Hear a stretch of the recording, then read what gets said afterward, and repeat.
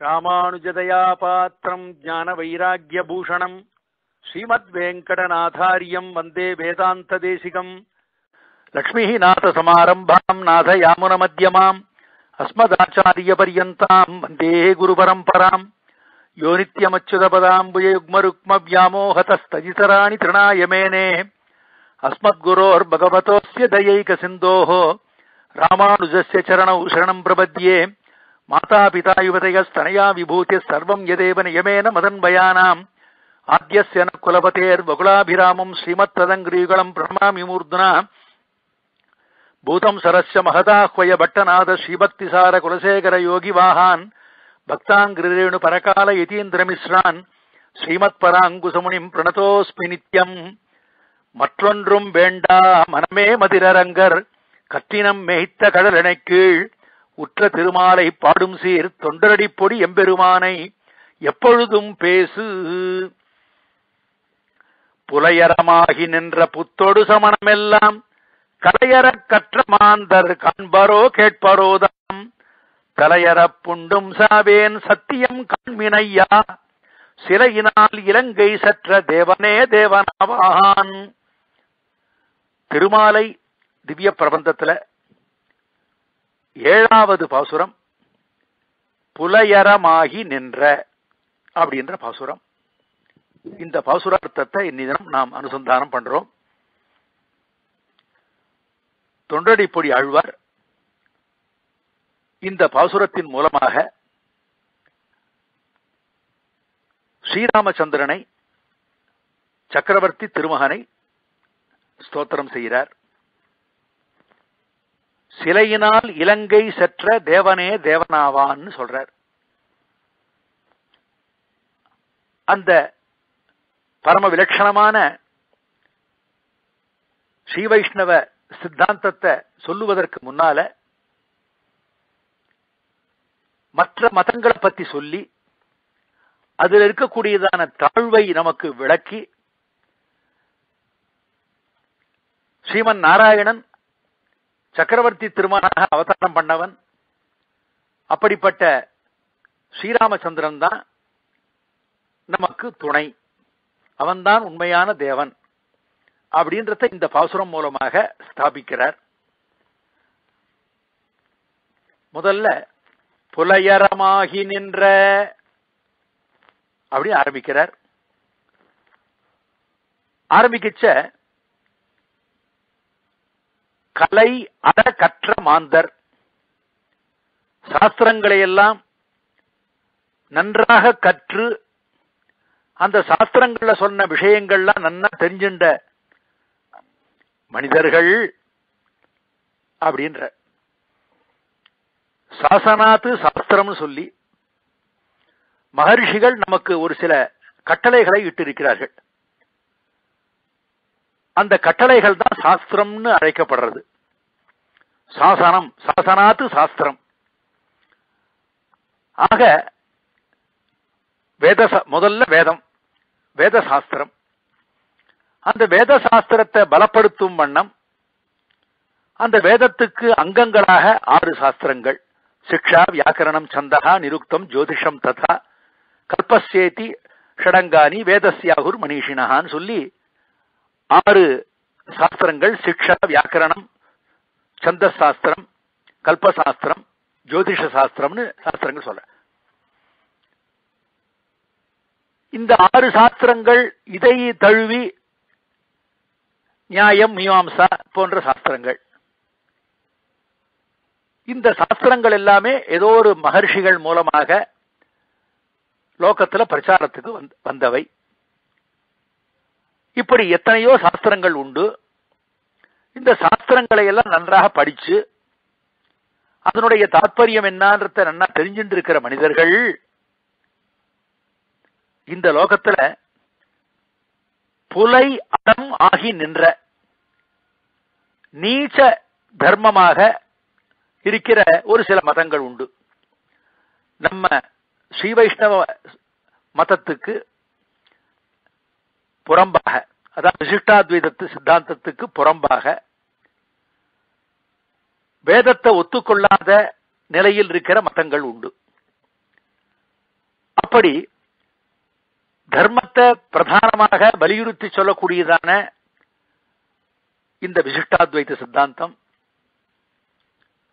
இந்த ராமானுஜ மதம் இந்த தேசிக சம்பிரதாய தரிசனம் இப்படிப்பட்ட உயர்ந்ததான தர்மத்தை ஸ்தாபனம் பண்றதுக்காக இருக்கக்கூடிய இந்த மதங்கள் இருக்குச்ச.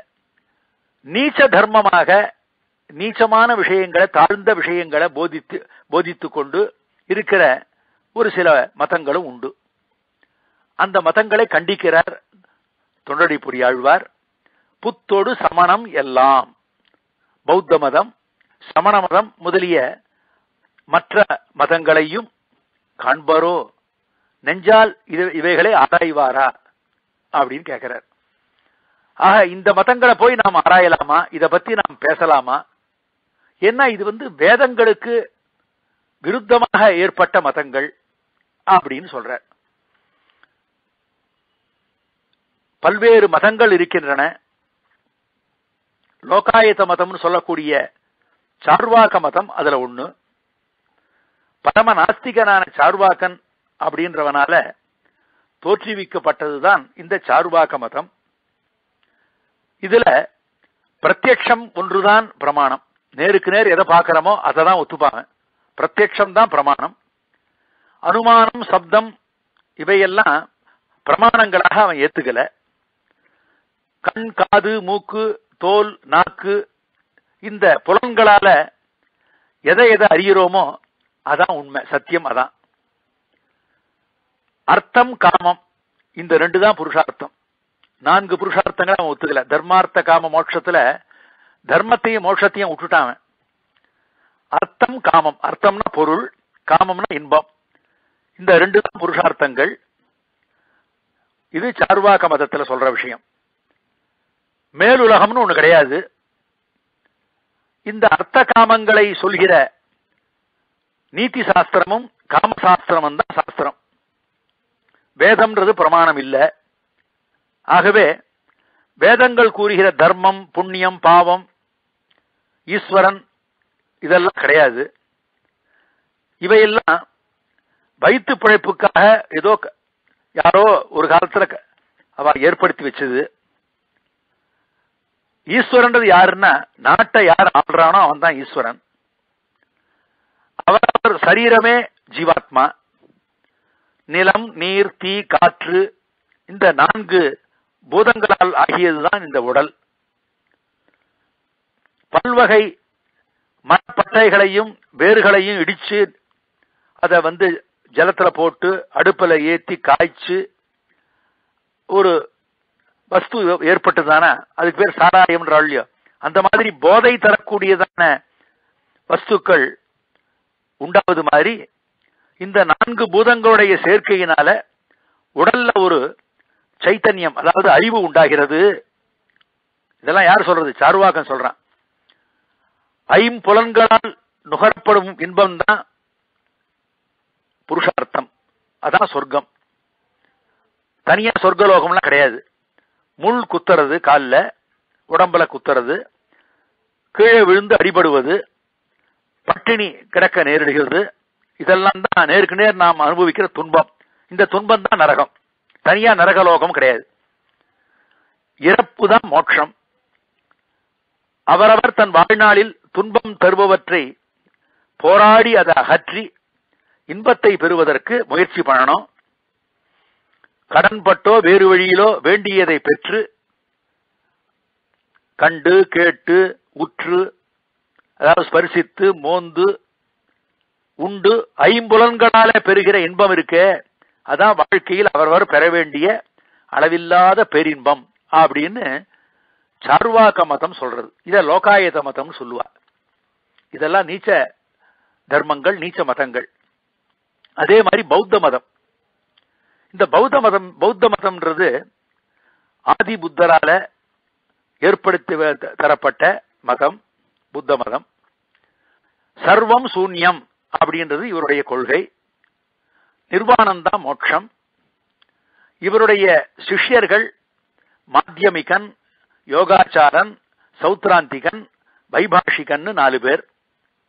இவளுக்கு புத்தருடைய வாக்கியமே பிரமாணம். ஆனாலும் சின்ன மாறுபாடு கொஞ்சம் இருக்கு வாழ் வாழ் வாழ்க்குள்ள.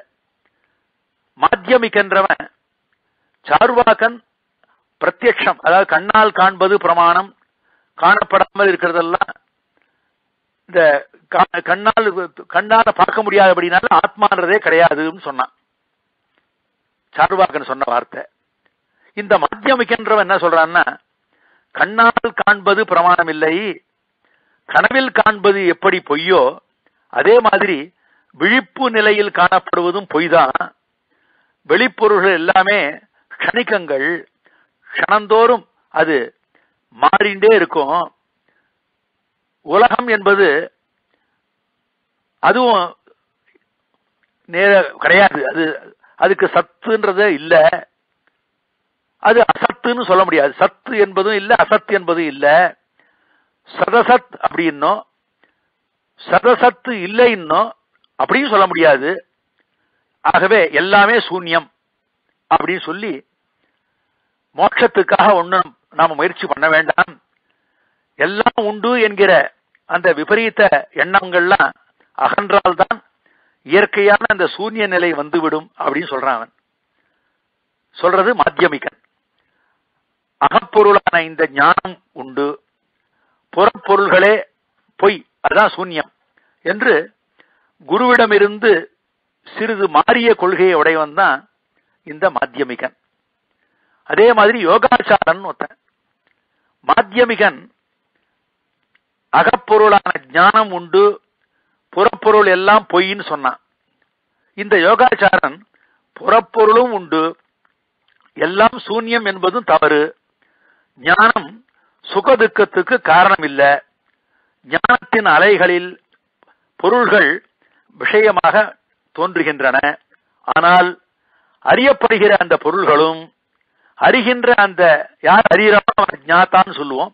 அந்த ஜாத்தாவும் தனியாக கிடையாது. அவைகள் அறிவின் அம்சம்தான். ஆகவே ஞானத்தை விட்டு தனித்து புறப்பொருள் இல்லாமையினால அவை எல்லாமே சூன்யம்னு சொன்னான் யோகாச்சாரன். இதெல்லாம் கண்டிக்கிறார் தொண்டைப்பொடி ஆழ்வார். சௌத்ராந்திகன் ஒருத்தன். இவன் அந்த பௌத்த மதத்தை சார்ந்தவன் தான் புறப்பொருள் அதாவது வெளியில நம்ம கண்ணெதிர் தென்படுற புறப்பொருள்லாம் உண்டு. ஆனால் அது பிரத்யட்சமாக காண்பதற்கு அரிதாக இருக்கு. ஞானத்தில் விஷயமாகும் பொருள்களில அந்த வடிவை கொண்டு அவற்றை அனுமானத்தினால்தான் நாம் அறிய முடியும். கண்ணாடியில் காணும் நிழலை கண்டு அதன் எதிரே உள்ள பொருட்களை ஊகித்து அறிவது போல இவையெல்லாம் அறியப்படுகின்றன. உண்மையில் பொருள்கள் அணுக்களுடைய சமுதாயம்தான் இந்த பொருள் எல்லாமே. எனவே பொருட்களை ஏற்காமல் அவை நிரம்சங்களாக பரமாணுக்கள் என்றும் அவையே உண்மையானவை இன்னும் இந்த சௌத்ராந்திகனுடைய சித்தாந்தம். வைபாஷிகன் ஒருத்தன் இவனும் ஆத்மாவை ஒப்புக்கொள்ளல. காட்சியும் காட்சியில் தோன்றுகிற அந்த பொருள்கள் எல்லாம் உண்டு. அந்த பொருள்கள் அணுக்களுடைய கூட்டம் தான் அது.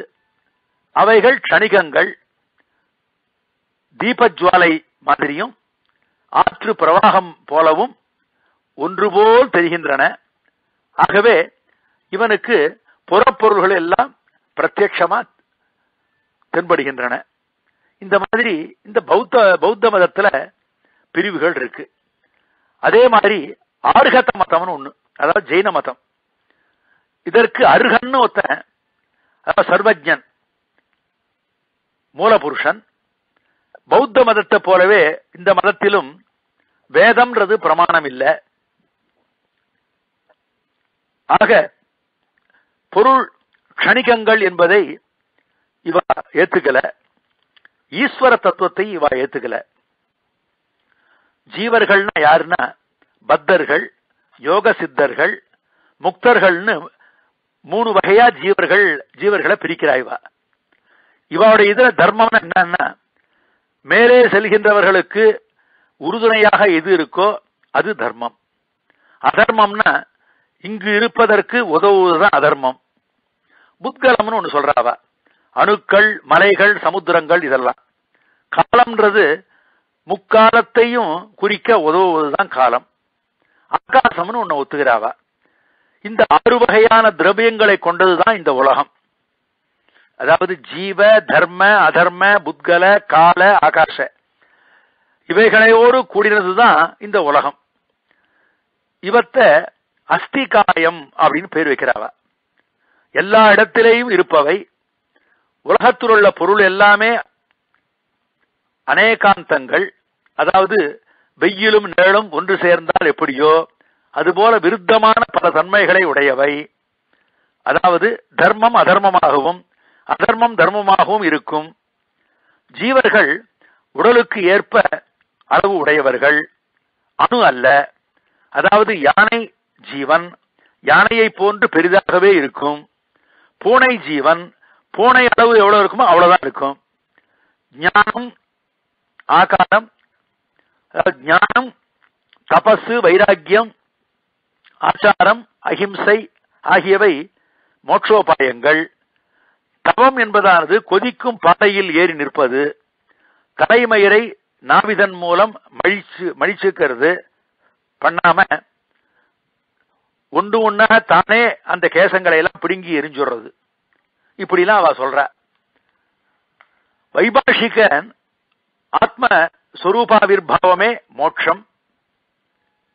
அதாவது சுவாபாவிகமான ஆத்மஸ்வரூபாவிர்பாவம் தான் மோட்சம். அதாவது அலோகாகாசத்துல பிரதிஷ்டை பெறுவதுதான் மோட்சம்னு சில பேரும் மேலே மேலே சென்று கொண்டிருப்பதுதான் மோட்சம்னு அவள்ல சில பேர் சொல்ற. இவர்கள் எல்லா பொருள்களின் தன்மைக்கும் ஏழு முறிவுகள் உண்டுன்னு அவ சொல்ற. இதை சப்தபங்கி நயம் அப்படின்னு அவ சொல்லிருக்கா. சியாதஸ்தி சியான் நாஸ்தி சியாதஸ்தி ச சியாத் அவக்தவியம் சியாதஸ்தி ச அவக்தவியம் சியான் நாஸ்தி ச அவக்தவியம் சியாதஸ்தி ச நாஸ்தி ச அவக்தவியம் இந்த மாதிரி ஒரே குழப்பமாக புரிந்து கொள்ள முடியாத நிலைமையில இவருடைய தத்துவமானது இருக்கு. இந்த மாதிரி நீச்சமான தர்மங்களை வேதத்தை ஒத்துக்கொள்ளாத தர்மங்கள் ஒத்துக்கொள்ளாத மதங்கள் அதையெல்லாம் மனசுல வச்சிருந்தான் இந்த பாசுரத்துல புலையரமாகி நின்ற புத்தொடு சமணமெல்லாம். அப்படின்னு சொல்ற புலையரம் ஆகி நின்ற நீச்ச தர்மமாக இருந்துள்ள புத்தோடு சமணம் எல்லாம். இந்த பௌத்த மதம் இந்த சமண மதம் முதலிய மற்ற மதங்களையும் காண்பரோ? நெஞ்சால யாராவது ஆராய்வாரா? கேட்பரோதாம் காதினால் தான் கேட்பார்களா? இதெல்லாம் கேட்கக்கூடாது. இதெல்லாம் வந்து நாம் வந்து இதை திக்கரிக்கணும். நெஞ்சால் ஆராய்ஞ்சு பார்க்க கூடாது இது யாராவது ஆராய்வாளா? அப்படின்னு தொண்டரைப்பொடி ஆழ்வார் சாதிக்கிறார். இந்த இடத்துல ஒரு ஐதிஹியத்தை சொல்றா அதாவது குரத்தாழ்வார் குரத்தாழ்வான் சின்ன வயசுல இருக்கிச்ச சாங்கிய மதத்தை சேர்ந்த இஷ்ட சித்தின்னு ஒரு புஸ்தகம். அதை யாரோ ஒருத்தர் உபன்யாசம் மாதிரி சொல்லிட்டு இருக்கார் இவர் அந்த வழியா போயிருச்சு. கொஞ்ச நாள் நின்று அதை கேட்டுட்டு கேட்டு கொஞ்சம் லேட்டா தாமதமாக ஆத்துக்கு வந்தார். அவ அப்பா குரத்து அழ்வார்னு பேர் அவருக்கு. அந்த குரத்து ஆழ்வார் இந்த குரத்தாழ்வான பார்த்து அதாவது குமாரருக்கு ஆழ்வான்னு பேரு அப்பாவுக்கு ஆழ்வார்னு பேரு. கூரத்து ஆழ்வார் அவர் அவர் குமாரர் கூரத்து ஆழ்வான் கூரத்தாழ்வான் பையனை பார்த்து கேட்கிறார் ஆழ்வான் ஏன் இந்த மாதிரி தாமதமாக வருகிறாய்? அப்படி கேட்ட உடனே இந்த மாதிரி யாரோ அந்த இஷ்ட சித்தின்றத ஒரு கிரந்தத்தை சொல்லிட்டு இருந்தார். அது என்னன்னு கேட்கறதுக்காக நின்றுந்தேன்னு சொன்னார் அதான் கொஞ்சம் தாமதம் ஆயிடுத்து வரத்துக்குன்னு சொன்னார்.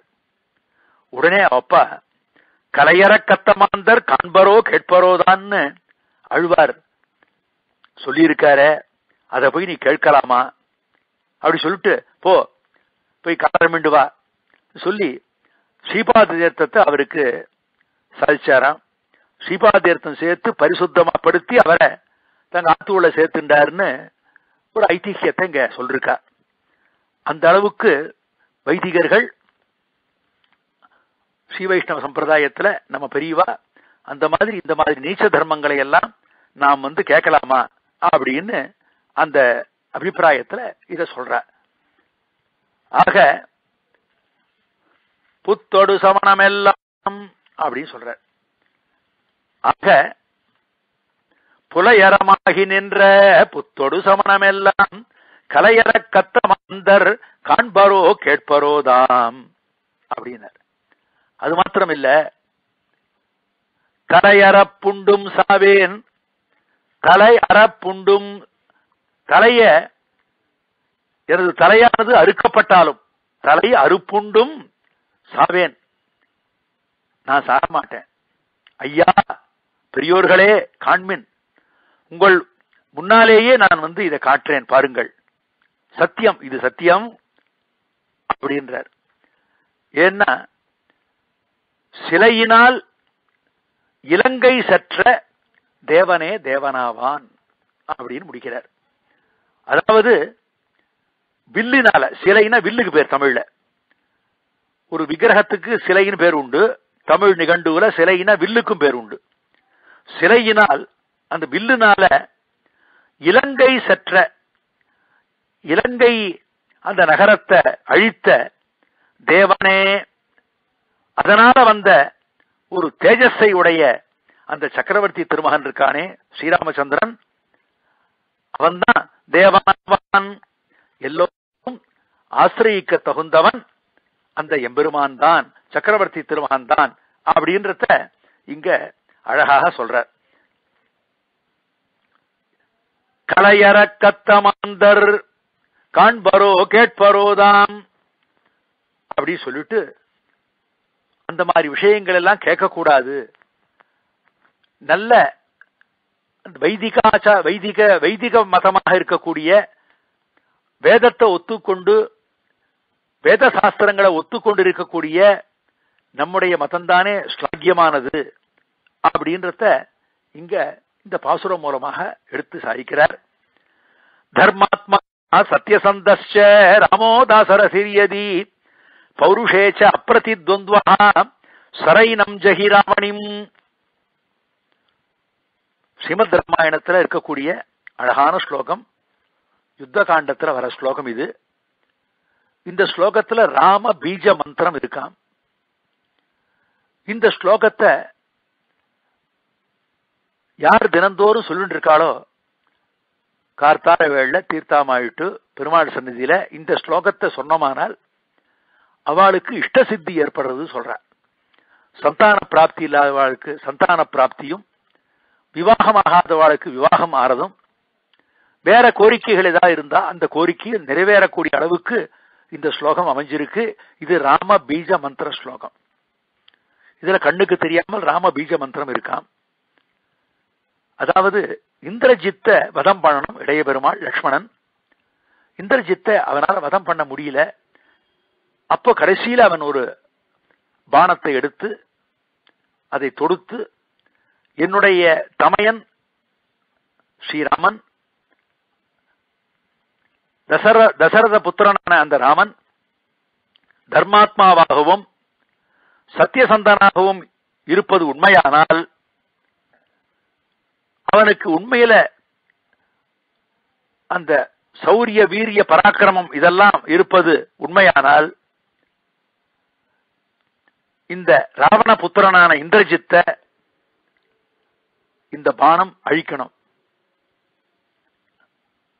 அப்படின்னு சொல்லிட்டு அந்த அம்ப பானத்தை பிரயோகம் பண்றான் இந்திரஜித்தின் பேர்ல லக்ஷ்மணன். அந்த மாதிரி பிரயோகம் பண்ண உடனே அவன் கீழே விழுந்து உயிர் துறக்கிறான். ஆக இந்த ஸ்லோகம் லக்ஷ்மணன் சொன்ன இளைய பெருமாள் லக்ஷ்மணன் சொன்ன ஸ்லோகம். ஆகவே தர்மாத்மா சத்யசந்தஸ்ச ராமோ தாசரதிரியதி பௌருஷேச்ச அப்பிரதித்வந்த்வா சரைணம் ஜெகிராமணிம்னு இளைய பெருமாள் சொன்ன மாதிரி நம் தலை அறுக்கப்பட்டாலும் அதாவது அவன் தலை அருந்து கீழே விழுந்தான் இந்திரஜித்து. அந்த மாதிரி என் தலையால அறுத்து நம்ம தலையை அறுத்து தம் தலையை அறுத்து கீழே தள்ளினாலும் தமக்கு மரணம் ஏற்படாதுன்றவர். தொண்டரைப்புடி ஆழ்வார். ஏன்னா அப்படி ஒரு பிரதிஜை பண்றவர். எதுக்காக பிரதிஜை பண்றாருன்னா பகவத் பரத்வத்தை நிலைநாட்டி பிரதிஜை பண்றார் இவர். ஆக எம்பெருமான் சர்வலோக சரண்யன் ஸ்ரீயப்பதி ஸ்ரீமன் நாராயணன் அவன்தான் எல்லாம் அவனுடைய தாசர்கள் நாம் அப்படின்ற அந்த பகவத் பரத்வத்தை ஸ்தாபிச்சு அவனுக்கு நாம் எல்லோரும் சேஷர்கள் தாசபூதா சுத சர்வேஹி ஆத்மான பரமாத்மனா அதோகமபி தேசா இதிமத்வா நமாமியம்னு மந்தர்ராஜபத ஸ்தோத்திரத்துல ருத்ரன் சொன்ன மாதிரி அவன் அவனுக்கு எல்லோரும் அந்த பரமாத்மாவுக்கு தாசர்கள் அப்படின்றத நிலைநாட்டுவதற்காக இந்த மாதிரி தொண்டை பொடியாழ்வார் எண்ணுகிறார். தலை அருந்த பின்பும் மரணம் இல்லாமல் போகுமா அப்படின்னா சத்தியம் காண்மின்றார் நீங்க மேல பார்க்க போற விஷயத்துல உங்களுக்கு சந்தேகம் எதற்கு? நான் செய்ய போற இந்த காரியத்தை நேரே நீங்கள் பார்த்து உண்மையை தெரிந்து கொள்ளுங்கள் அப்படின்றார் ஆழ்வார் ஆக இவர் செய்யற அந்த பிரதிஜை என்னன்னா சர்வலோக சமாசிரயணியன் எல்லா லோகத்தாராலையும் ஆசிரியக்க தகுந்தவன் அவன்தான் பரதத்துவமாக பேசப்படுபவன் அப்படின்ற விஷயங்களை நான் பல பிரமாணங்கள் மூலமாக நான் இங்க இந்த பிரபந்தத்துல நான் வந்து ஸ்தாபிக்க போறேன். அதை நீங்க பாருங்க. அப்படின்னு சொல்றாரு ஆழ்வார். அப்படி சொன்னவர் சிலையினால் இலங்கை செற்ற தேவனே தேவனாவான் அப்படின்னு சொல்றார். தன்னுடைய அந்த அம்பினால இலங்கை வேந்தனை நாசம் செஞ்சவன் அழிச்சவன் அப்படிப்பட்ட அந்த தேவன்தான் உண்மையான தேவன். ஆக ராவணன் கொழுக்கும்படி அவனுக்கு வரம் கொடுத்த தேவதைகளின் பதவிகளுக்கு கூட ஆபத்து வர சமயங்கள் உண்டு. யுக கோட்டி சகசிராணி விஷ்ணும் ஆராத்திய பத்மபூகு புனஸ்திரைலோக்கிய தாத்திருத்துவம் பிராப்தவானிதி. சுஸ்ருமான்னு ஒரு ஸ்லோகம் இருக்கு. எத்தனையோ கோடிக்கணக்கான வருஷங்கள் தபமியற்றி விஷ்ணுவை குறித்து தபஸ் பண்ணி தன்னுடைய அந்த பிரம்ம பதவிய பெத்துண்டாராம் பிரம்மா. ஆக அவாவ தங்கள் பதவியை பெத்துக்கணும்னா தங்களுக்கு ஆபத்து வர சமயத்துல எந்த தெய்வத்தை நாடுகிறார்கள்? மகாவிஷ்ணுவை தான் நாடுகிறார்கள். அப்படிப்பட்ட அவாள்கிட்ட இந்த ராவணன் வரம் வாங்கி வச்சிருக்கான். ஆக ராவணன் தான் கொழுக்கும்படி அவனுக்கு வரம் கொடுத்த தேவதைகள். ஆக அவர்களுடைய அந்த பதவிகளுக்கு ஆபத்து வராதபடி தன் பெருமையை குறைத்து கொண்டு ஸ்ரீவைகுண்டத்திலிருந்து இந்த பூலோகத்துல இறங்கி வந்து தசரத மகாராஜாவுக்கு திருமகனாக சக்கரவர்த்தி திருமகனாக மனித உருவில் வந்து அவதாரம் பண்ணான் சர்வேஸ்வரன். அப்படி அவதாரம் பண்ண அவன் தன் கையில் அந்த இருக்கிற அந்த வில்லுனால இலங்கையை அழித்தான். ஆக அப்படி இலங்கையை அழித்த அந்த சர்வேஸ்வரன் தான் ஆசிரியிக்க தகுந்தவன் அவன்தான் பரம்பொருள். ஆக அந்த தேவதைகள் தங்களுக்கு வரப்போவதை அறியாமல் ராவணனுக்கு வரத்தை கொடுத்து அவனை கொழுக்க வச்சு அதனால தங்களுடைய அந்த பதவிகளை எல்லாம் இழந்து வேறு போக்கு இல்லாமல் போனவுடனே வழக்க பிரகாரம் அவன் என்ன பண்ணான்? எம்பெருமான் திருவழிகளே வந்து விழுந்தார்கள்.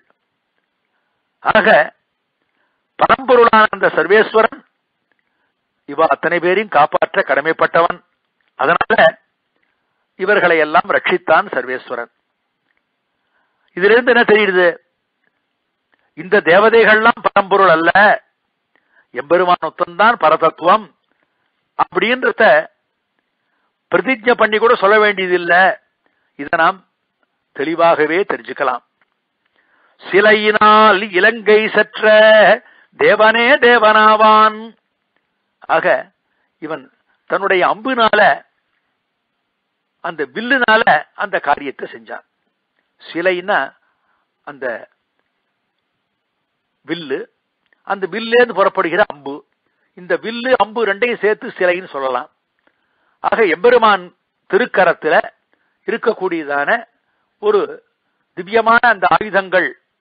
அதை சொல்லச்ச பதினாறு ஆயுதங்கள் இருக்குன்னு சுவாமி தேசிகன் ஷோடசாயுத ஸ்தோத்திரம் அப்படின்னு ஒரு ஸ்தோத்திரத்தை சாதிச்சிருக்கார். அதுல இந்த சார்கம்ன்ற ஒரு வில் எம்பெருமானுக்கு ஒரு ஆயுதமாக அமைஞ்சிருக்கு. எம் சாத்விகம் அகங்காரம் ஆமனந்த்வம். அசாட்ச அசாயகம் அவ்யாத்து சக்கர சக்கரரூபஸ்ய தத்தனு சார்ங்கதன்வனஹா அப்படின்னு ஷோடசாயுத ஸ்தோத்திரத்துல ஒரு ஸ்லோகம் இருக்கு. அதாவது இந்திரியங்களை அம்பாக கொண்ட எந்த வில்லை சாத்விக குணம் கொண்ட அகங்காரம் என்கிற தத்துவமாக வேதங்கள் சொல்கின்றனவோ மகான்கள் சொல்கிறார்களோ அப்படிப்பட்ட அந்த வில் சக்கரத்தாழ்வாருடைய உருவில் இருக்கக்கூடியதான அந்த வில். சார்கம்ன்ற பெயரை உள்ள அந்த வில். அந்த வில்லை உடைய எம்பெருமான் அந்த பெருமாளுடைய அந்த வில்லானது உங்களை காப்பாற்றட்டும்ன்றார் சுவாமி தேசிகன். அதாவது எம்பெருமான் கையில ஒரு வில் வச்சிருக்கார் அந்த வில்லுக்கு சார்ங்கம்னு பேரு. சார்ங்கபாணினே பெருமாளுக்கு திருநாமம். அந்த சார்ங்கம்ன்ற வில்ல வச்சிருக்கிறதுனால அவருக்கு அந்த பேர் வந்தது. சார்கம் என்னும் வில்லாண்டான் தன்னைன்னு பெரியாழ்வார் பாசுரம். ஆக இந்த வில் என்பதானது அம்போடு சேர்ந்து செய்கிற ஒரு செயல்படக்கூடியதான ஒரு கருவியாக இருக்கிறபடினால வில் அம்புகள் ரெண்டும் சேர்த்துதான் இங்க சொல்லப்படுறது. அச்சேதனமான மூல பிரகிருத்தியிலிருந்து பிரிந்து தத்துவங்களை சொல்லு வரைச்ச இருபத்தி நாலு தத்துவங்களை வரிசையா சொல்லு வரைச்ச பிரகிருதி மகான் அகங்காரம்ன்ற அந்த வரிசை கிரமத்துல மகர்ஷிகள் வேதங்களை சகாயமாக கொண்டு இருபத்தி நாலு வகை தத்துவங்களை அவ நமக்கு சொல்லியிருக்கா. இதுல அகங்காரம்னு ஒரு தத்துவம் இருக்கு. அது சாத்விக அகங்காரம் ராஜச அகங்காரம் தாமசா அகங்காரம்னு மூணு வகையாக பிரிக்கப்படுறது. இதுல சாத்விக அகங்காரம்ன்றது தான் எம்பெருமானுடைய இடது திருக்கையில் சேவையாகிற இந்த வில்லாக இருக்கு. சார்ங்கம்னா வில்லு. ஸ்ருங்கசிய விகாரா சார்ங்கம்னு சொல்லுவா. ஸ்ருங்கம்னா கொம்புக்கு பேர். பழைய நாள்ல இந்த மான் போன்ற பிராணிகள் இருக்கோ இல்லையோ மிருகங்கள் அந்த மானுடைய கொம்பு இருக்க அந்த மானுடைய கொம்புல இருந்து வில்லு தயார் பண்ற பழக்கம் பழைய நாள்ல இருந்திருக்கு. அதனால ஸ்ருங்கம்ல இருந்து வந்து மாறு மாறுபட்டதுதான் சாருங்கம். ஸ்ருங்கம்னா கொம்பு மான் கொம்பு மாதிரி இருக்கிறது அதுல இருந்து மாறுபட்டது அதுல இருந்து வந்ததுதான் சாருங்கம்னு இந்த வில்லுக்கு பேர் வந்தது. ஆக பெருமாள் கையில இருக்கிற அந்த வில்லு கூட சாருங்கம்ன்ற வில்லு கூட ஏதோ ஒரு மான் கொம்புலேருந்து தயார் பண்ணதானா அப்படின்னு நாம் நினைச்ச கூடாது. அது அப்படி இல்லை. ஆக பெருமாள் திருக்கையில இருக்கக்கூடியதான அந்த சார்கம்ன்ற வில்லானது ஒரு பிராணியினுடைய கொம்புலேருந்து தயார் பண்ணதுன்னு நம்ம கருதக்கூடாது. எப்படி பெருமாள் திருக்கரத்தில் இருக்கக்கூடியதான சங்காழ்வான் விஷயத்துல பஞ்சஜன்யம்ன்றத அந்த பஞ்சஜனன்ற அசுரன் கிட்டேந்து வந்ததுன்ற அந்த அர்த்தத்தை சொல்லாமல் இயற்கையாகவே பெருமாள் கிட்ட அந்த மாதிரி ஒரு சங்கம் இருக்குன்னு நாம் பூர்வாச்சாரியால் சொல்லிருக்காளோ அதே மாதிரி இந்த சார்ந்த விஷயத்திலையும் நாம் நினைச்சுக்கணும். பூத்தாதிம் இந்திரியாதிஞ்ச த்விதா அகங்காரம் ஈஸ்வரா பிபர்த்தி சங்கரூபேண சங்கரூபேண சஸ்திதம் விஷ்ணு புராணத்துல பராசர மகரிஷி தெரிவிக்கிற ஸ்லோகம். ஆக இந்த சார்கம் என்ற பெயருடைய இந்த வில்லு அதை பெருமாள் கையில தாங்கின்றிருக்கார் பிடிச்சிருக்கார் இது அகங்காரம்ன்ற ஒரு தத்துவத்திலேருந்து வந்தது அப்படின்றத இங்க சொல்றார். சுவாமி தேசிகன் அதிகார சங்கிரகத்துல ஆங்காரங்கள் சார்கம் சங்காக மனம் தீரியாகன்னு புருடன் மணிவரமாக பொன்னா மூல பிரகிருதி மறுவாக மான்தண்டாகன்னு ஒரு பாசுரத்துல அழகாக இதை சாதிக்கிறார். இருடீகங்கள் இறைந்தும் சரங்களாகன்னு சுவாமி தேசிகன் சாதிச்சபடியினால புராணங்களை எல்லாம் பிரமாணமாக வச்சுண்டு கர்ம ஞானேந்திரியங்கள் பத்தையும் மனசுல வச்சுண்டு. ஆக எம்பெருமான் அவர் கையில ஒரு பானத்தை வச்சுருக்கார். அதுதான் இந்த சார்கம்ன்ற இந்த வில்லு அந்த வில்லோடு சேர்ந்த பானம். இத சொல்லச்ச ராமன்னாலே கையில வில்லோடு கூடினவன் தான் ராமன். வில்லாளன் நஞ்சத்துளன்ற அழ்வார். ராமனை சொல்லச்சியே வில்லாளன்ற அழ்வார். வில்லோடு கூடினவன் அப்படின்னு. திஷரம் அபிசந்தத்தே திஸ்தாபயதி நாஸ்ரிதான் திர்ததாதி நச்சார்த்திபியோ. ராமோ திர்நாபிபாஷத்தே. ராமபிரான் ஒரு தரம் பானம் விட்டார்னா அது எந்த இலக்கை நோக்கி விட்டானோ அதை அடிக்காமல் திரும்பி வராது. அதே மாதிரி ராமனை ஆசிரியிச்சு யாராவது வந்து ராமா எனக்கு ரொம்ப கஷ்டப்படுறேன் எனக்கு ஏதாவது பணம் கொடுன்னு வந்து கேட்க வந்தா அவளுக்கு எவ்வளவு தேவையோ தேவைக்கு மேல நிறைய கொடுத்துருவான். அந்த மாதிரி கொடுத்துட்டா திரும்பி ராமன் கிட்ட வர அந்த பிரசக்தியே அவளுக்கு ஏற்படாது. ஆக யாராவது ஒருத்தர் வந்து ராமா வந்து ஆசிரியிச்சு ஏதாவது கேட்டா உதவி கேட்டா உடனே செஞ்சு முடிச்சு கொடுப்பான். யாச்சகம் கேட்டு வரவாளுக்கும் இரண்டாம் அவளுக்கு தர வேண்டிய பிரசக்தியே இல்லாம நிறைய தருவான். ஏதாவது ஒரு சொல் சொன்னா அந்த பேசின பேச்சானது ஒரு தினம் சொன்னா ஒரு தினம் சொன்னதுதான். ரெண்டாவது பேச்சே ராமன் விட்ட கிடையாது. அப்படின்னு சொன்ன மாதிரி ராமபிரான் வில்லாளனாக கையில வில்ல வச்சிருக்கான் அப்படிப்பட்ட அந்த வில்லோடு கூடினவன் அப்படின்னால சக்கரவர்த்தி திருமகனை வில்லாளன் சொல்ற. இத சொல்லச்ச பகவத் பாஷ்யக்காரர் பகவத் ராமானுஜர் கத்தியத்துல அச்சிந்திய சக்தின்னு சாதிக்கிறார். அந்த அச்சிந்திய சக்தின்ற சொல்லுக்கு விளக்கம் தந்த பாஷ்யம் எழுதின சுவாமி தேசிகன் சர்வேஷாம் ஆயுதானாம் சர்வாயுத காரிய சக்தத்வாத் அச்சிந்திய சக்தித்வோக்தேகே அச்சிந்திய சக்தித்வோக்தி குठार டங்க குத்தாலாதிகாரியம் சால சைல வசுதாதல பேதனம் ஏகேன ஹி ஷரேன கிருத்தம் உச்சியத்தே அப்படின்னு சாதிக்கிறார் பெருமாள் கிட்ட இருக்கிற ஆயுதங்கள் எல்லா ஆயுதங்களுமே எல்லா காரியங்களையும் ஆற்றக்கூடிய அந்த சக்தி சாமரிய சாமர்த்தியத்தோட இருந்தாலும் நினைச்சு கூட பார்க்க முடியாத அளவுக்கு இந்த வில்ல வந்து பெருமாள் சக்கரவர்த்தி திருமகன் வில்லிலேந்து பானத்தை விட்டாருன்னா அந்த பானம் என்ன பண்ணுமா?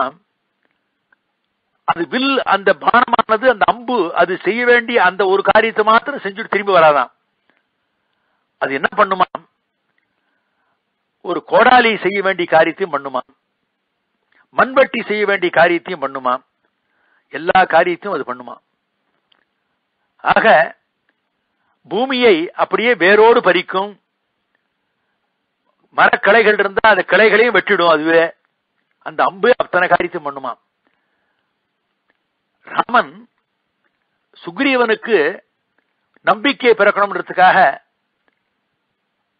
தன் கையில அந்த அம்பை எடுத்துண்டு அதுல இருந்து பானப்பிரயோகம் பண்றான்.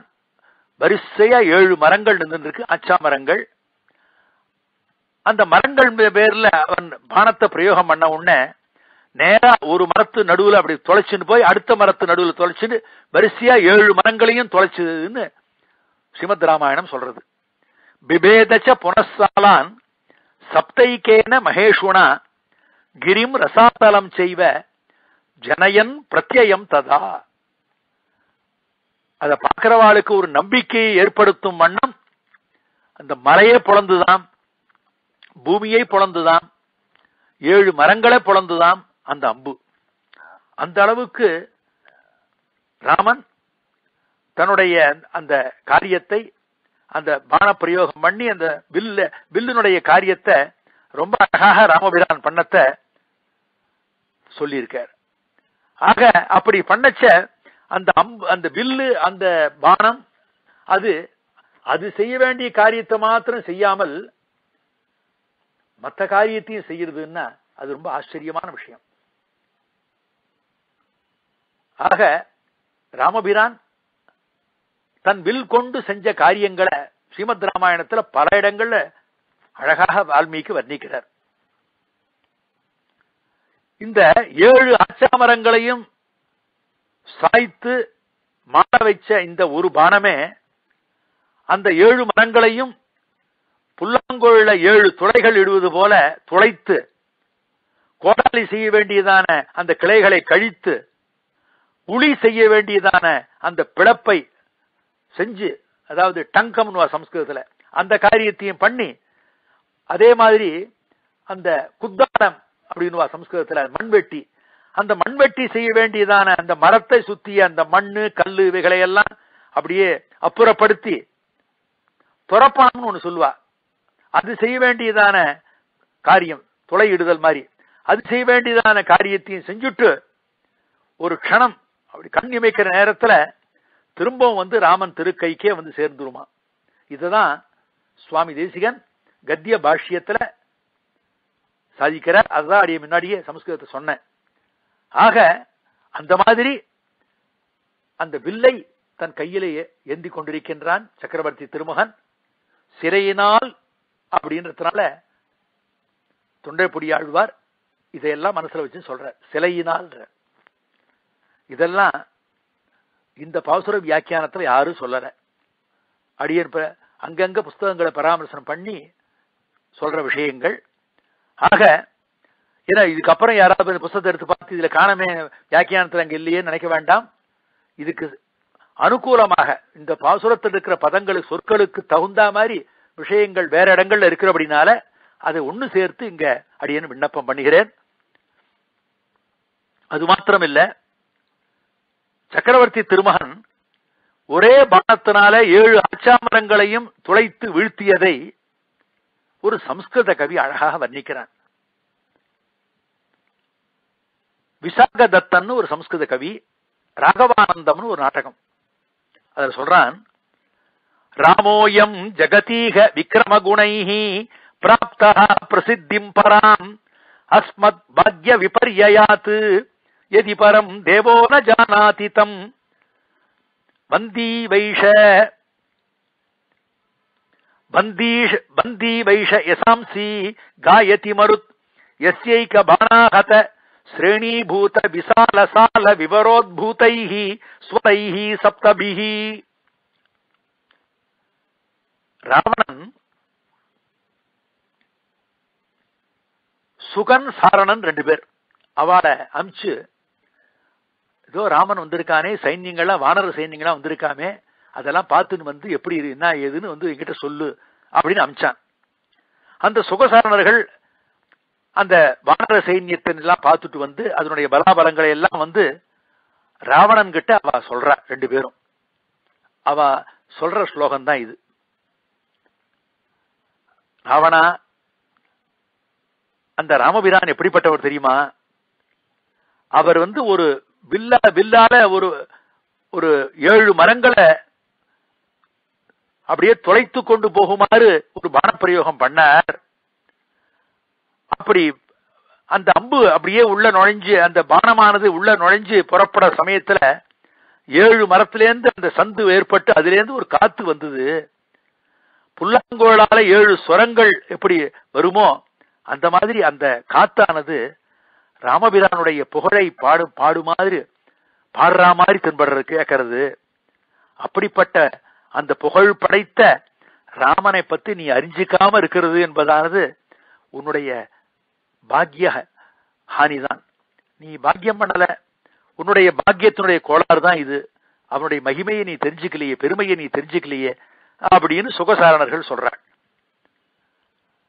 ஆனபடினால அந்த மாதிரி கையில அழகாக வில்லை ஏந்தி இருப்பவன் சக்கரவர்த்தி திருமகன். ஆக அந்த நின்று நின்று கொண்டிருக்கிற அந்த அழகு ஒன்னே போரும். அவன் அந்த வில்லேந்தி நிற்கக்கூடிய அழகு. சததர் சததோ ராமம் திஷ்டந்தம் அபராஜிதம் ஆலிகந்தம் இவாகாசம். அவஷ்டபிய மகத்தனு கையில வில்ல வச்சு ராமன் நின்று இருக்கார். லக்ஷ்மணன் பார்க்கறான் ஆஹா யாராலையும் வெல்ல முடியாதவன் என் தமையன். ஆகாசத்தை அளாவி நிற்கக்கூடிய அந்த பெரிய வில்லை அழுந்தி பிடித்து கொண்டு நிற்கிற தன்னுடைய தமையன் ராமனை பார்த்தான் லக்ஷ்மண். இளைய பெருமாள்னு வால்மீகி வர்ணிக்கிறார். ஆக சக்கரவர்த்தி திருமகன் அப்படி வில்லாளனாக இருக்கான். சார்கம் என்னும் வில்லாண்டான் தன்னை. பெரியாழ்வார் திருப்பல்லாண்டுல சார்கம் என்னும் வில்லாண்டான் தன்னைனர் ஆக இந்த சார்கம்ன்ற அந்த வில்லை இவன் கையில் ஏந்தி இருப்பது அதை சொல்லச்ச இது மகிஷி பூஷண ஆயுத பரிசனங்களுக்கும் உபலட்சணம் அப்படின்னு திருப்பல்லாண்டு வியாக்கியானத்தில் எழுதியிருக்கார். அதாவது திவ்ய மகிழ்ச்சிகளாக இருக்கக்கூடிய ஸ்ரீதேவி பூதேவி நிலாதேவி அதே மாதிரி திவ்ய ஆபரணங்கள் திவ்யமான ஆயுதங்கள் அவனுக்கு கைங்கரியம் செய்கிற பரிஜனங்கள் இவா அத்தனை பேருக்கும் உபலட்சணம். அதாவது சார்கம்ன்ற வில்ல மாத்திரம் அவன் கையில வச்சு அதோடு திவ்ய மகிழ்ச்சிகளை கொண்டவனா இருக்கான் திவ்ய ஆபரணங்களோடு கூடினவனா இருக்கான் திவ்ய ஆயுதங்களோடு கூடினவனாக இருக்கான் திவ்யமான பரிஜனங்களோடு கூடினவனா இருக்கான்றத இந்த சொல். சார்கம் என்னும் வில்லாண்டான். இந்த ஒரு சொல்லே அதையும் தெரிவிக்கிறது. அப்படின்னு சுவாரஸ்யமாக திருப்பல்லாண்டு வியாக்கியானத்துல உரையாசிரியர் சொல்றார். அது மாத்திரமில்ல சிலையினால் இலங்கை சற்ற தேவனே தேவனாவான். இலங்கை சற்ற தேவன்ற சொல்ல ஏன் போடணுங்க ஆழ்வார்? இலங்கையை அழித்த இலங்கை சற்ற இலங்கையை அழித்த தேவன். இந்த தேவ சொல்ல தேவன்ற சொல்ல இங்க எதுக்கு ஆழ்வார் போனோம் அப்படின்னா சுவாமி நம்மாழ்வாருடைய அந்த பாசுரம் ஆழ்வாருக்கு நினைவுக்கு வரலாம். இது அடியன் சொந்த அபிப்பிராயம். வியாக்கியானங்கள் இல்ல. ஏன்னா தொண்டடிப்புடி ஆழ்வாருக்கு முன்னால் அவதாரம் பண்ணவர் நம்மாழ்வார் நம்மாழ்வார் பாசுரத்துல இலங்கையை அழித்த விற்த்தாந்தத்தை சொல்லி அதை செஞ்சவன் தேவன்னு தேவதேவன்னு சொல்றார். ஆக ராமபிரான்னு சொல்லாமல் தேவதேவனைன்னு அவர் சொன்னபடினால ஆக அதே வார்த்தையை நாம் கையாள்வோம்னு திருமாலையில தொண்டரைப்புடியாழ்வார் இந்த இலங்கை சற்ற தேவனைன்னு பிரயோகம் பண்ணியிருப்பார்னு தோன்றது. மூவராகிய மூர்த்தியை முதல் மூவர்க்கு முதல்வன் தன்னை சாவமுள்ளன நீக்குவானை தடங்கடல் கிடந்தான் தன்னை தேவதேவனை தென்னிலங்கை எரியழ சற்ற வில்லியை பாவநாசனை பங்கைய தடங்கண்ணனை பரவிமினோ பங்கைய தடங்கண்ணனை பரவுமினோ அப்படின்றார். அவன் யாரவன்? பாவநாசனை பரம பாவனமானவன். மிகவும் பரிசுத்தமானவன். தாமரை மலர் போன்ற கண்களை உடையவன். விசாலமான கண்களை உடையவன். அப்படிப்பட்ட தாமரை கண்ணனை புண்டரீகாட்சனை பரவுமினே பரவுமினோன்னா புகழ்ந்து பாடுங்கள் நம்மாழ்வார். அவன் எப்பேற்பட்டவன்? அவனோ தேவதேவன். தேவதேவனை. இன்னும் என்ன எப்படிப்பட்டவன்? தென்னிலங்கை எரியழச் செற்ற வில்லியை. தெற்கு திக்கிலே இருக்கக்கூடிய லங்கை அழகான லங்கை. அந்த லங்கை பற்றி எரியுமாறு அந்த லங்கை வேந்தன் ராவணன் மாண்டு போகும்படி தன் வில்லை ஆண்டவன் கையாண்டவன். அது மாத்திரமல்ல மூவராகிய மூர்த்தியை அந்த திரிமூர்த்திகள்ல ஒருத்தன் முதல் மூவர்க்கு முதல்வன் தன்னை அந்த திரிமூர்த்திகள்லயே அந்த ரெண்டு பேருக்கும் காரணபூதனாக அவாலும் தோன்றுவதற்கு காரணமாக அமைந்தவன். ஆ பிரம்மாருத்ரன் ரெண்டு பேருக்கும் காரணமாக அமைந்தவன். சாவமுள்ளன நீக்குவானை நம்முடைய துன்பங்கள் எல்லாத்தையும் போக்கடிப்பவன். தடங்கடல் கிடந்தான் தன்னை. விசாலமான அந்த க்ஷீராப்தியில திருப்பார்கடல்ல திருவனந்தாழ்வான் மீது சைனித்திருப்பவன் அப்படிப்பட்ட அந்த பாவநாசனை தாமரை கண்ணனை புகழ்ந்து பாடுங்கள். அப்படின்னு நம்மாழ்வார் பாசுரமிட்டார் அந்த இந்த பாசுரம்தான் திருவாய்மொழி மூணாம் பத்தில் இருக்கக்கூடிய இந்த பாசுரம்தான் இன்னி இந்த திருமாலை பாசுரத்தினுடைய இந்த தேவதேவனை அப்படின்னு இது சிறையினால் இலங்கை சற்ற தேவனே தேவனாவான் இங்க சொல்றாருன்னா நம்மாழ்வாருடைய இந்த பாசுரம் தான் இவரை இந்த மாதிரி சொல்லுவதற்கு பாடுவதற்கு காரணமாக அமைந்திருக்கும்னு சொல்ல தோன்றது. ஆக அப்பேற்பட்ட நிலைமையில ஆழ்வார் ஆச்சரியமாக சாதிக்கிறார் ஆக அது மாத்திரம் இல்ல எம்பெருமான் திருக்கரத்தில இந்த சார்ங்கம்ன்ற வில்ல வச்சுருக்கான்னா உண்மையை ஆலோசனை பண்ணி பார்த்தோமானால் அவனுக்கு எந்த விதமான பானமும் தேவையில்லை கையில. அந்த வில்லுல கட்டி இருக்கிற அந்த நான் கயிறு இருக்க அந்த நான் கயிற்ற தன் விரலால் அப்படி தட்டி இப்படி ஓசை எழுப்பினாலே போதும்.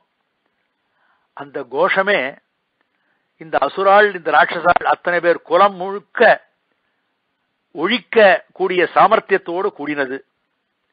இது ஏதோ மிகைப்படுத்தி சொன்ன வார்த்தை இல்லை இது அதிசயோக்தி இல்ல இது சுபாபோக்தி அலங்காரம். உண்மை இது நிலைமை இதுதான்.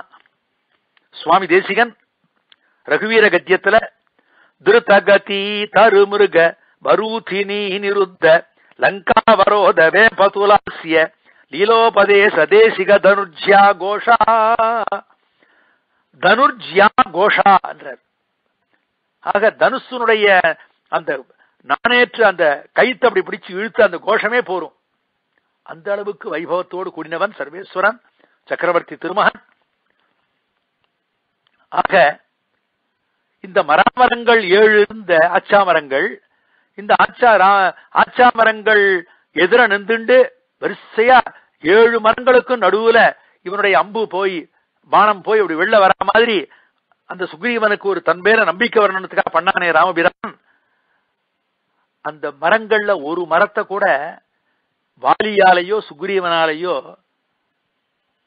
ஒண்ணும் செய்ய முடியாதான். அந்த மரத்தை அசைச்சு பார்க்கவும் முடியாத வாழால அப்படிப்பட்ட ஒரு மரம் இல்ல ஏழு மரங்களை அனாயாசமாக சக்கரவர்த்தி திருமகன் அவனுடைய ஒரு பானமே அந்த வேகமா போய் அந்த காரியத்தை பண்ணித்துன்னா இது எப்பேற்பட்ட வீர காரியம். கூறத்தாழ்வான் அதிமானுஷஸ்தவத்துல ஸ்தோத்திரம் பண்றார். சாலான்ஹி சப்த சகிரீன் சரசலான் யான் ஏகேஷு மந்த ஜவதோ நிரபத்ரயஸ்துவம். தேஷ்வைக விவ்யதன கிண்ண கவி பிரணுன்னம் சாகாமிருகம் மிருகயசே ஸ்ம கதம் சகாயம் ராமா ஏழு ஆச்சா மரங்களை ஒரு பானத்தை கொண்டு துளைச்ச அந்த சாமர்த்தியத்தோட கூடின உனக்கு கிளைக்கு கிளை தாவி திரிகிற இந்த குரங்கு கிட்ட வந்து நின்றுண்டு எனக்கு உதவி பண்ணங்க பண்றங்களான்னு கேட்டையே அது எதுக்கா அப்படி கேட்ட? அதனுடைய உள்ள அர்த்தம் என்ன? எனக்கு புரியலையே என்றார் குரத்தாழ்வான் அதிமானுஷஸ்தவத்துல. அப்படிப்பட்ட அந்த சார்கம்ன்ற அந்த வில் எம்பெருமான் திருக்கரத்துல இருக்கு அப்படின்னால அப்பேற்பட்ட அந்த விஷயத்தை ஆழ்வார் இங்கு அழகாக பாசுரத்தில் சாய்க்கிறார். அது மாத்திரம் இல்ல ஆழ்வார்கள் தங்கள் பாசுரங்கள்ல இந்த வில்ல பத்தி நிறைய சொல்லிருக்க இந்த வில்ல பத்தி சொன்னாலே இது பெரிய ஒரு வில்லாக மாறிடும். இது நம்ம அப்படியே தொலைச்சிடும். அவ்வளவு விஷயங்கள் இதில் இருக்கு. பொய்கை ஆழ்வார் ராமபிரான் கையில எப்பவுமே ஒரு தழும்பு இருக்கான்.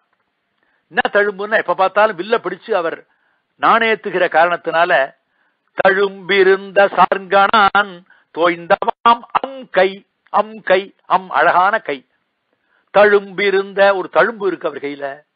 சார்ங்க நான் அந்த சார்கம்ன்ற வில்ல அந்த நானேற்றி அவர் அந்த காரியத்தை வீர காரியத்தை செய்யற சமயத்துல அதனால எப்ப பார்த்தாலும் பிடிச்சு பிடிச்சு அந்த காரியத்தை பண்ணத்தினால அவர் கையிலேயே ஒரு தழும்பு அழகான கையில தழும்பு ஏற்படுத்து ஏற்பட்டுடுத்துன்றார் பொய்கை ஆழ்வார். திருச்சந்த விருத்தம் பாடின திருமழிசை ஆழ்வார் சார்ங்கபாணி அல்லையே. நீ சார்ங்கபாணி இல்லையாடாப்பா உன் பேர் பேரே சார்ங்கபாணியாச்சு என்றார். குலசேகர ஆழ்வார் சிலை வலவா சேவகனே அப்படின்னு பாடுறார். சிலை வலவா என்றார். ஆக அந்த அம்பை எய்துவதில் சாமர்த்தியத்தை காண்பிக்கிறவனேன்னு புகழ்ந்து பேசுகிறார் குலசேகர பெருமாள். அது மாத்திரமில்ல ஏவரிவன் சிலை வலவா ராகவனே தாலேலோ தாலாட்டு பாடச்ச கூட ஏவரிவன் சிலை வளவான்றார் அதே மாதிரி பெரியாழ்வார் சாந்த நாந்தகம் சங்கு தண்டு நானொளி சார்கம் திருச்சக்கரம் ஏந்து பெருமை ராமனை இருக்குமிடம் நாடுதிரியல்னு இந்த திவ்யமான ஆயுதங்களோடு கூடினவன நீங்கள்லாம் பார்த்தீங்களான்னு கேட்கச்ச பெரியாழ்வாரும் இதை பத்தி சொல்றார். அதே மாதிரி தெய்வ சிலையார்க்கு அப்படின்னு சொல்லி பெரிய திருமொழியில திருமங்கையாழ்வார் பெரிய திருமொழி ஒன்பதாம் பத்துல ரொம்ப ஆச்சரியமாக சாதிக்கிறார். என்னுடைய நிலைமையை நீங்க சொல்லுங்கன்னு. அதாவது திரும திருமங்கை ஆழ்வார் பரக்கால நாயகியாக மாறிட்டார் பெண்ணாக மாறிட்டார் நாயிகா பாவத்தை தரிச்சார். அப்படி நாயிகா பாவத்தை எடுத்த திருமங்கை ஆழ்வாருக்கு இப்ப பேர் என்னன்னா பரகால நாயகின்னு பேர். இந்த பரகால நாயகி பெருமாளையே நினைச்சுட்டு இருக்கா எப்பவும். அப்படி பெருமாளையே நினைச்சுட்டு இருக்கிற சமயத்துல அவள் திருத்தாயார் சொல்கிறார் சொல்கிறார் போல் ஒரு பாசுரம். தெய்வ சிலையா இருக்குன்னு. ஆக இந்த தெய்வ சிலை அழகான இந்த வில்ல வச்சுருக்கிறவர்கிட்ட என்னுடைய உள்ள கிடக்கை என் அபிப்பிராயத்தை சொல்ல மாட்டீர்களா அப்படின்னு கேட்கிற மாதிரி. அதே மாதிரி வில்லிருத்து மெல்லியல் தோல் தொய்ந்தா என்னும் அப்படின்னு திருநெடுந்தாண்டகத்துல கூட திருமங்கை ஆழ்வார் அழகாக இந்த வில் விஷயத்தை சாதிக்கிறார். விரை கமழ்ந்த மென் கருங்குழற் காரணம்னு சீதா கல்யாண விஷயத்தை சொல்லச்ச திருவகீந்திரபுரம் பாசுரத்துல திருமங்கை ஆழ்வார் அனுபவிக்கிறார். ஆக அது மாத்திரமில்ல இலங்கை பாழ் செய்த விஷயத்தை சொல்லச்ச இலங்கையை ஈடழித்த கோரம்பன் அல்லால் குறைன்னு திருமழிசை ஆழ்வார் இந்த விஷயத்தை சொல்றார். கல்லாதவர் இலங்கை கட்டழித்த காகுத்தன் அல்லால் ஒரு தெய்வம் யானிலேன் அப்படின்றார் திருமழிசை ஆழ்வார். அந்த காகுஸ்தன் தான் உண்மையான தெய்வம். இலங்கையை ஈழழித்த அவன்தான் தெய்வம். ஆக இலங்கை சிலையினால் இலங்கை செற்ற தேவனே தேவனாவான்னு தொண்டரப்படியாழ்வார் சாதிக்கிறாருன்னா அதை பார்த்து அப்படியே இவர். அவர் சொன்னத இவர் இப்படி சொல்றாருன்னா அவர் சொன்னதுக்கு காரணம் அவருக்கு முன்னால் அவதாரம் பண்ண ஆழ்வார்கள் அந்த மாதிரி சொல்றார். திருமழிசை ஆழ்வார் இவருக்கு முன்னால் அவதாரம் பண்ணவர். ஆக காகுத்தனல்லால் ஒரு தெய்வம் யானிலேன்னு சொல்லிட்டார். அது மாத்திரம் இல்ல பெரியாழ்வார் இங்கை மலங்கச் சரம் துறந்த வில்லாளனைன்றார். ஆண்டாள் நாச்சியார் திருமொழியில வில்லால் இலங்கை அழித்தாயின்றார். ஆக ராமன் சொன்னாலே சக்கரவர்த்தி திருமகன் சொன்னாலே அந்த கையில ஏந்தி இருக்கிற அந்த வில் தான் ஞாபகத்துக்கு வரும். அப்படிப்பட்ட அந்த வில்லாளனாக எம்பெருமான் திகழ்கிறான் சக்கரவர்த்தி திருமகன். அதையெல்லாம் மனசுல வச்சிருந்தா அழ்வார் இங்க சிறையினால் இலங்கை சற்ற தேவனே தேவனாவான் அப்படின்னு சாய்க்கிறார் இங்க தேவனே தேவனாவான்னு கடைசியில இந்த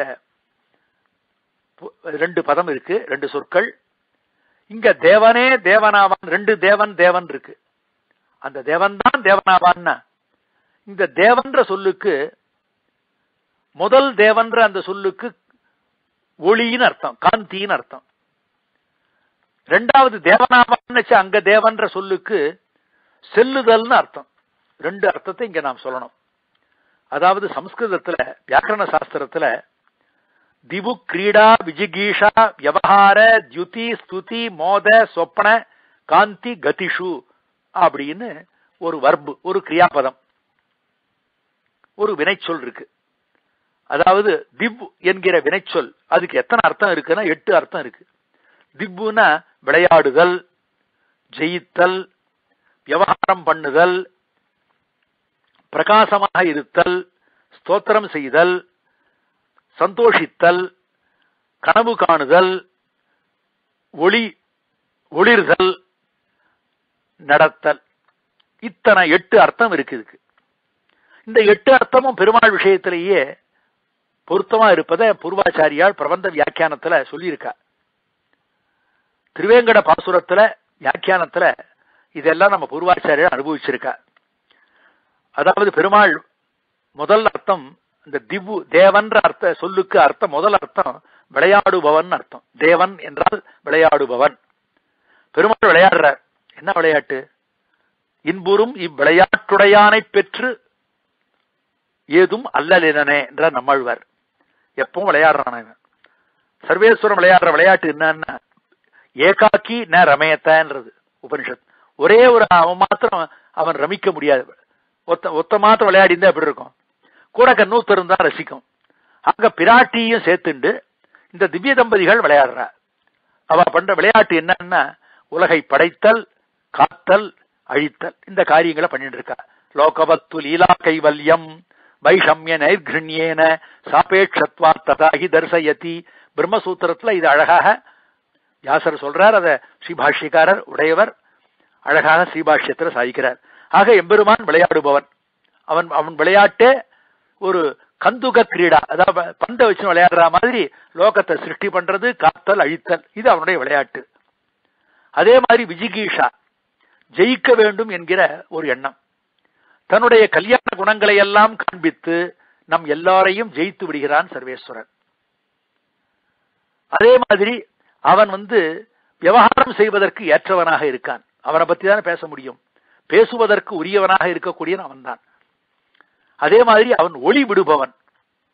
அதாவது நதத்திர சூரியோ பாதி நச்சந்திர தாரகம் நேமா வித்யுதோ பாந்தி குதோயம் அக்னிகி தமேவ பாந்தம் அனுபாதி சர்வே தஸ்ய பாசா சர்வவிதம் சர்வம் இதம் விபாத்தின்னு சாந்தோக்கியத்துல ஒரு மந்திரம் இருக்கு. சாந்தோக்கிய உபனிஷத்துல ஆக ஸ்ரீவைகுண்டத்துல பெருமாள் இருக்கிற இடத்துல சந்திரனோ சூரியனோ ஒளி விடுவதில்லை. நட்சத்திர சூரியோ பாதி தாரகம். நட்சத்திரங்கள் ஒளி விடுவது கிடையாது. இந்த மின்னல் ஒளி விடாது. அக்னி ஒளி விடாது. என்ன இவை அத்தனையுமே ஒளி தரக்கூடிய இத்தனை பதார்த்தங்களுமே அந்த பரமாத்மா கிட்டேன்னு தானே ஒளியே வாங்கிட்டு வாங்கி கொண்டன. ஆனபடினால அப்பேற்பட்ட ஒளியோடு கூடினவன் காந்தியோடு கூடினவன் சர்வேஸ்வரன். ஆக தேவனே தேவனாவான். இந்த முதல் தேவ சப்தத்துக்கு அந்த தேவன்ற சொல்லுக்கு காந்தி.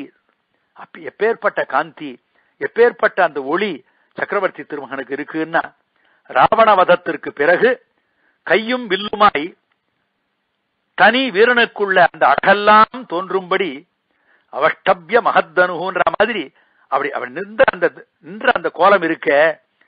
அப்பேற்பட்ட அந்த கோலம் காந்தியோடு அப்படி பெருமாள் நின்று அழகே போறோம். மதுராந்தகத்துல எரிகாத்த ராமனை நினைச்ச உடனே அவன் நின்று இருக்கிற அழகே தனி அழகு. பகுடாரண்ய கஷேத்திரம் பகவத் ராமானுஜருக்கு சமாசிரம் நடந்த இடம். மதுராந்தகம் துவயம் விளைந்த திருப்பதின்னு சொல்லுவார். அந்த ஊர்ல எழுந்தொழி இருக்கிற பெருமாள் சக்கரவர்த்தி திருமகன் எரிகாத்த ராமன் அப்படி நின்று இருக்கிற அந்த அழகு ஒண்ணு போரும் அந்த ஒளி விடுகிற அந்த காந்தி அந்த அந்த மாதிரி இங்க எம்பெருமான் அந்த காந்தியை முதல் தேவனே என்ற அந்த சொல் நமக்கு தெரியப்படுத்துறது. அதே மாதிரி தேவனாவான்.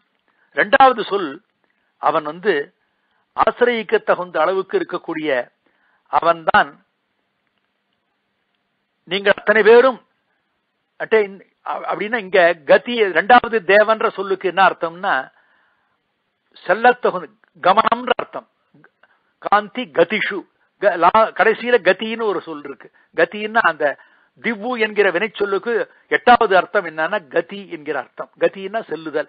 நாம் அத்தனை பேரும் செல்லுவதற்கு அவனை அடைவதற்கு ஏற்றவனாக எம்பெருமான் திகழ்கிறான் ஆனபடினால தேவனாவான். இரண்டாவது தேவன் என்கிற சொல்லுக்கு அடையத்தகுந்தவன்ற அர்த்தத்தை அது தருகிற காரணத்தினால ஆக இலங்கை சற்ற தேவனே தேவனாவான்னு சொல்லி ஆச்சரியமாக இந்த பாசுரத்தை பூர்த்தி பண்றார். தொண்டடிப்புரி ஆழ்வார். கவிதார்க்கிக சிம்ஹாய கல்யாண குணசாலினே ஸ்ரீமதே வெங்கடேசாய வேதாந்த குரவே நமஹ. தொண்டடிப்புடி ஆழ்வார் திருவடிகளே சரணம்.